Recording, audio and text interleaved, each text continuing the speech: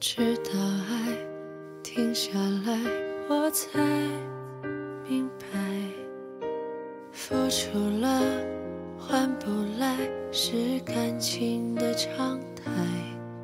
如今的我不再去怪，也不再想要有更改，想被桌上盘逃开。你像个小孩。开小差，偏偏把爱弄坏。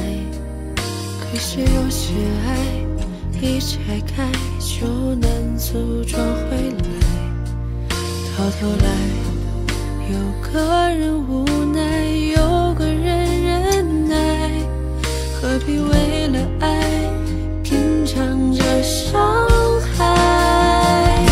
不该说爱，不该听情绪。